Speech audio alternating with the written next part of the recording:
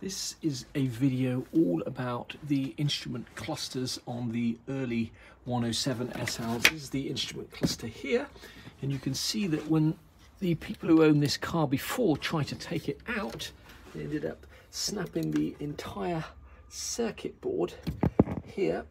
I imagine they're unable to get that fitting off um, and we're going to have to get a new one of these and a new circuit board. Now, just before you rush out and get one, it is important that these clusters are different on the earlier SLs to the later ones. They're also different depending on whether you've got a left-hand drive car in kilometers an hour or a right-hand drive car in miles per hour.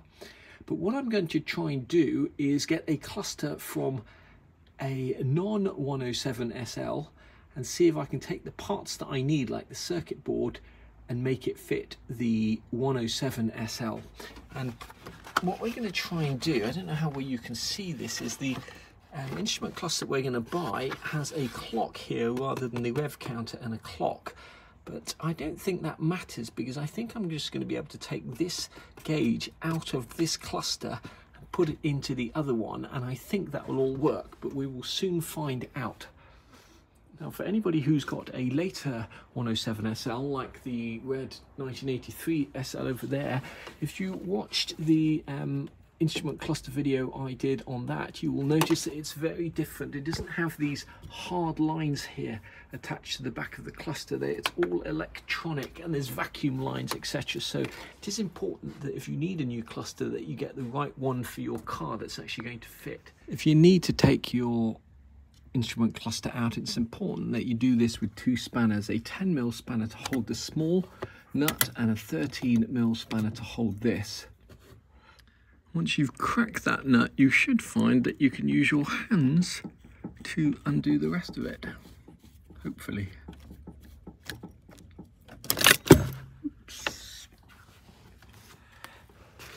That is the oil pressure line and there's a good chance that it'll have oil in it when you take it out. So make sure you've got a rag or something like that. Better still something to plug that with when you take it off. In this particular case, it doesn't matter too much because I don't think there's that much oil in this car. Our job today is to try and rebuild this instrument cluster here. You can see that the previous owners of this car managed to break the circuit board whilst taking it out. And what we're going to try and do is just replace that bit of circuit board with something that we just bought off eBay. Now whilst these are similar, they're not identical and here's just a few differences. First of all, this is the one we bought on eBay and you can see it has these Perspex pieces here which don't exist on the um, instrument cluster that came with the car. The second thing is these instrument clusters are just push fit on the 107 SL with this rubber band here and that rubber band is missing on this instrument cluster. Although this was advertised as fitting a 107 SL, um, if you've ever had a 107 SL, you know that it doesn't have a clock there. It'll have a speedometer with a clock in the middle, plus it doesn't have all these pieces here. So we're not actually going to use this piece here, we're just going to take out the circuit board from here, hopefully, and transplant it into here. That's my plan. Whether that works or not is a completely different question. In theory, all we need to do is take out these remaining bolts here, unplug the wires. These are just cable clips that keep these wires secure. And these two things here that the wires are attached to are just bulbs. So we should, in theory, be able to just take out this circuit board and all these wires in one go and just take out the same circuit board from there, transplant it and see how we go. We've just done undone four bolts and a few bolts around that cracked, cracked circuit board. And this piece comes out in its entirety together with those two light bulbs. Before we do anything else, we will take the opportunity to clean the inside of all of this, make sure there's no dust in there before we put it all back together. We'll have a go at cleaning that up before we put it back together. I can see on this um, here that these wires seem very tight to the extent it makes me wonder whether they actually, whether this has been replaced on here. I can also see that they, for some reason, cut this wire here and here. I don't know why, maybe there was a short circuit or something. I guess we'll soon find out. We also noticed that on the car that we're doing, this piece is missing for some reason.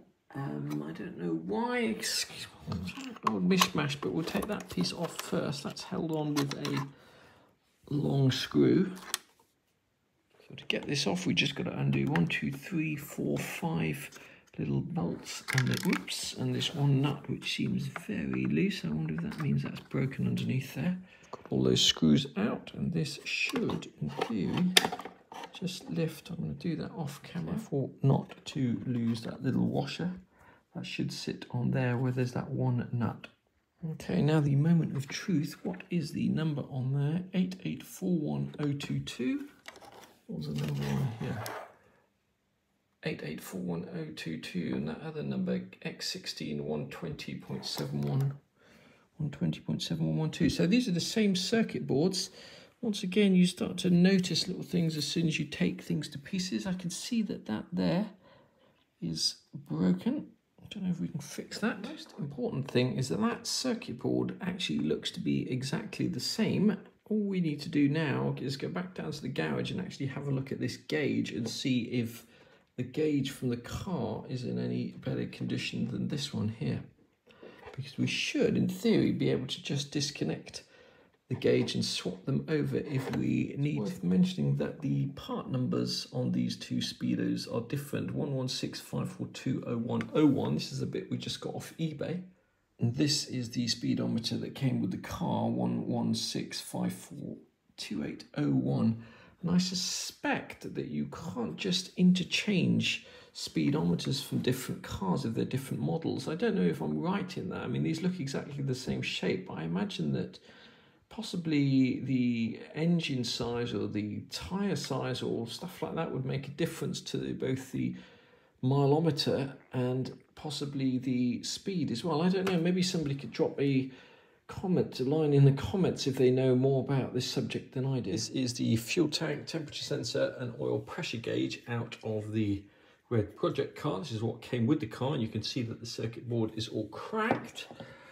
This is here what we bought off eBay and I can see um, additionally that this center chrome trim is missing. I can also see that these are different colors. They're yellow and that's orange. So what I think I may do is attempt to take this off the old circuit board and transplant, transplant it, transplant it onto the new circuit board. I'm not sure whether it works or whether it's damaged, but there's only one way to find out. The first thing we're going to have to do is remove these little needles um, and they're on there pretty tightly. So I'll show you a few methods of removing the needles, but there is a danger when you remove those needles that you pull the spindle right out of the gauge behind it. Now this is very important regardless of whether you're dealing with an SL or any other car. If your needles have got pins here and here stopping the needle, you need to remove that pin first. It should just pull straight out and let this needle come to its natural resting point and when you put the needle back on, it needs to go in on exactly the same place, then get wound forward, and then you put the pin in. Otherwise, your um, dials won't be set up properly. That's the first point. And the second point is, my advice would be before you try leaving these off, I would put some um, good quality masking tape on where you're about to lever so there's no danger at all that you scratch the paint. So we're going to try getting this needle off first and you have a number of methods. You can use the fork method and just lever, lever it up like so. You can use the two spoon method. That gives you equal pressure on both sides. Lever it up. Or you can potentially, if you don't have any forks and spoons and you eat with your hands or whatever, you can possibly also use a pair of scissors and leave up like that. Um, I think I'm going to prefer the spoon method simply because it gives us equal pressure on both sides. So here goes. As I say, there's a chance that we could ruin this dial, but it's pretty ruined anyway. There we go. One down. Try this next one. Two down. We've got two of those um, needles out. Next up, we're going to try and take this one here off. Now, this one has got a pin here, And you can see that that wants to travel much further back this way. And we need to pull that pin out and let the needle travel to where it wants to travel. We've got two options. You can either just try and grab hold of that pin and pull it straight out.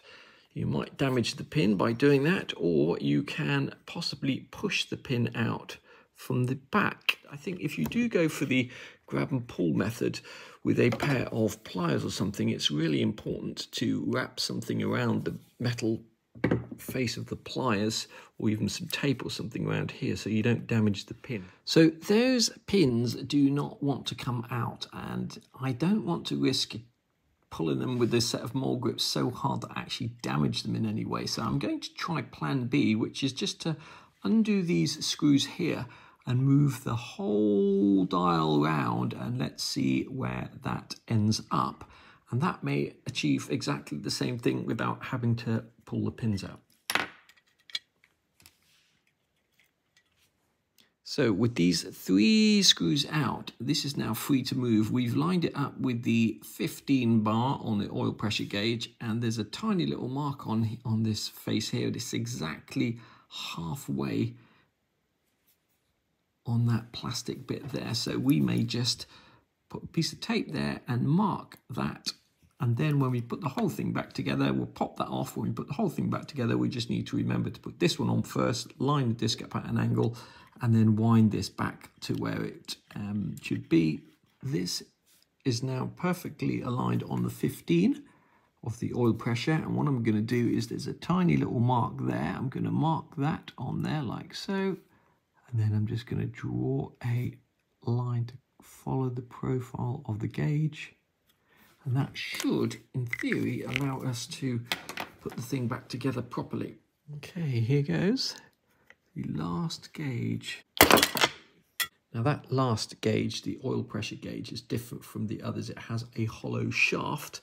The other gauges are a needle pin, I think. Having got the needles off, this should now just lift off, revealing behind it the gauges. So once you've taken those two screws out, this whole plate lifts off like so. And in fact, this plate just clamps that gauge to the circuit board. Once you've taken those screws and that plate out, this circuit board actually plugs into the dials. It's a really clever system, but these little fittings here are actually plugs that plug into copper fittings on the dials like that. So if you're very careful, you could just lever that up. Similarly, this in theory should, you may need to get a flat blade screwdriver or something like that under there and just twist very gently. But it should, in theory, just lever off like so. Be really careful you don't damage any of the runners. And there you go.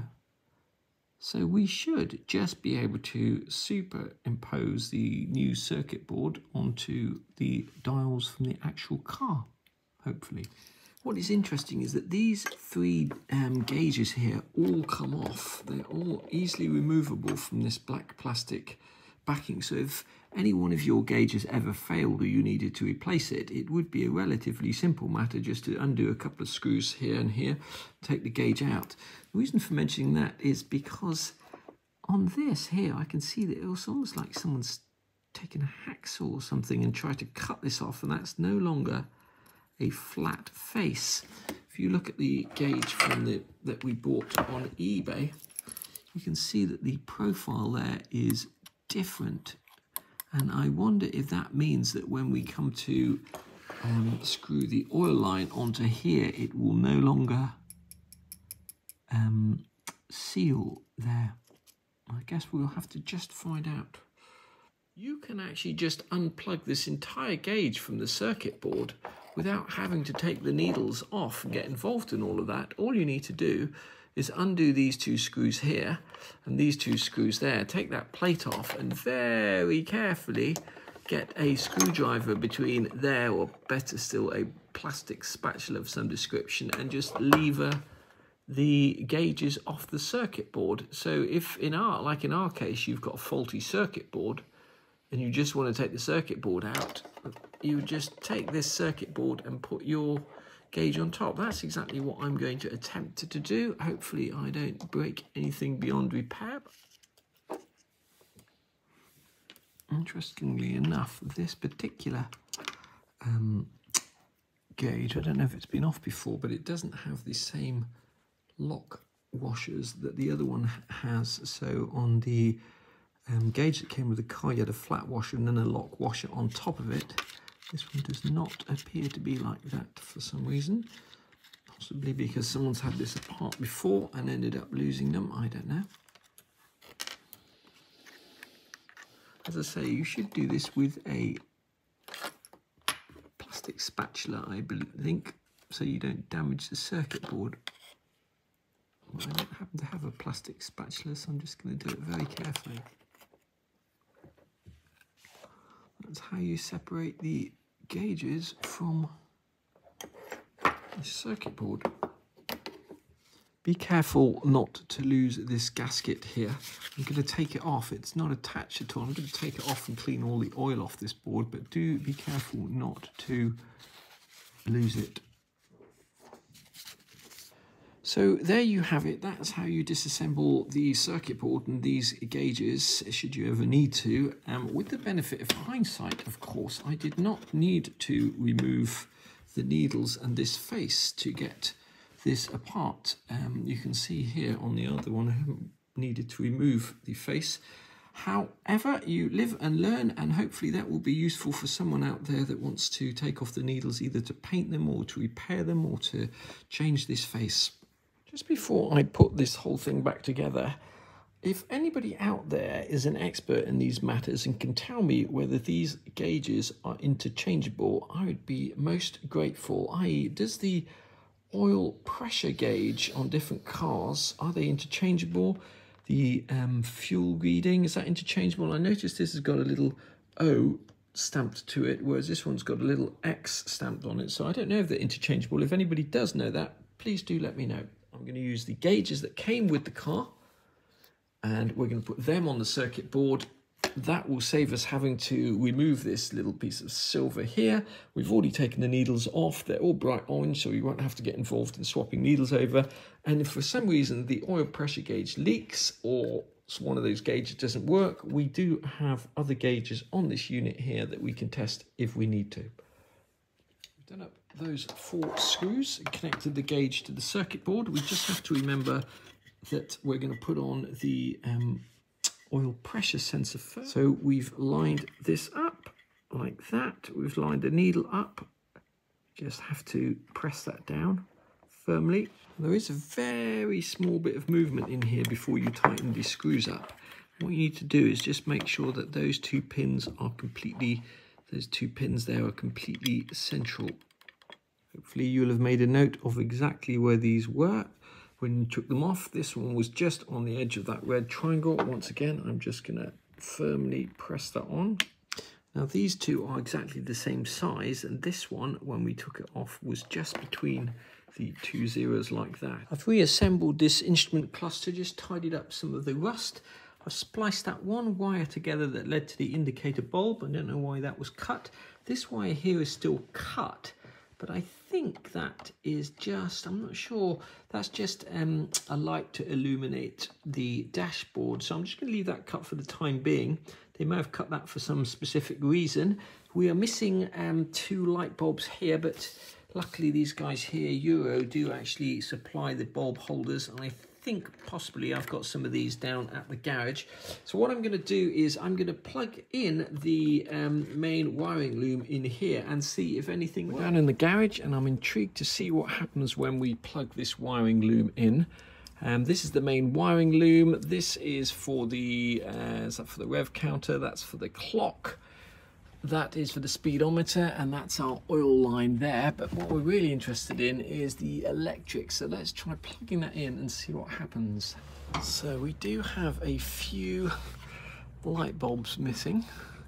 This plug only fits in one way. I hope it's got long enough to, very short plug, unfortunately. So I've connected the battery and I've plugged just the way main and wiring loom into the back of that dash and let's see what happens if we turn on this one click.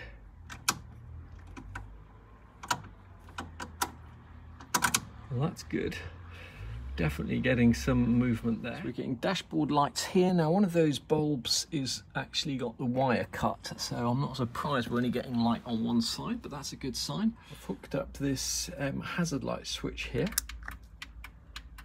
And that's good. We can see that both of those bulbs are working, although albeit that's not very green.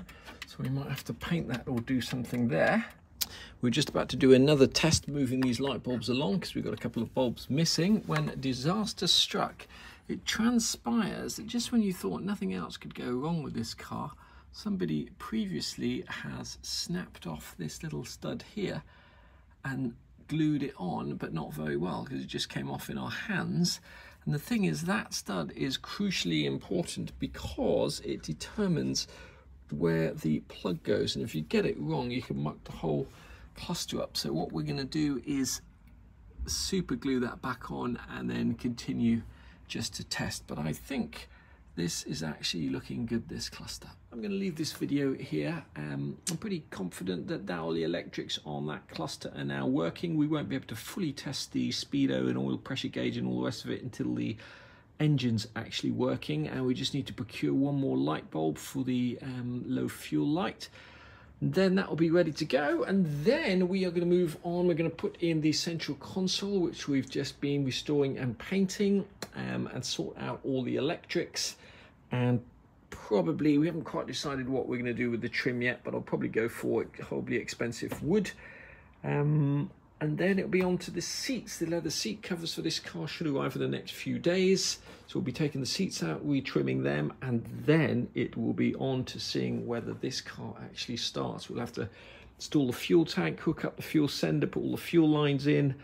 Um, so that will be interesting and obviously test that little ECU unit down there as well to see if that's working. But I'm going to leave this video here and I'll just leave a quick link to where you can get those light bulb holders from should you need to get any for your cluster. If any of your dash cluster light bulbs aren't working and you need a new holder, URO make them. That's the part number treble zero five four five four zero one nine, and you can get from these guys here, Rock Auto. They're not cheap, seven pound fifty. That's probably plus VAT and all the rest of it, but um, that's an awful lot cheaper than getting them from Mercedes, for example. If you do need to paint your needles orange, you can use this stuff here, Tamiya acrylic mini paints. Not expensive, one pound eighty five from eBay. Um, that's the stuff to use there.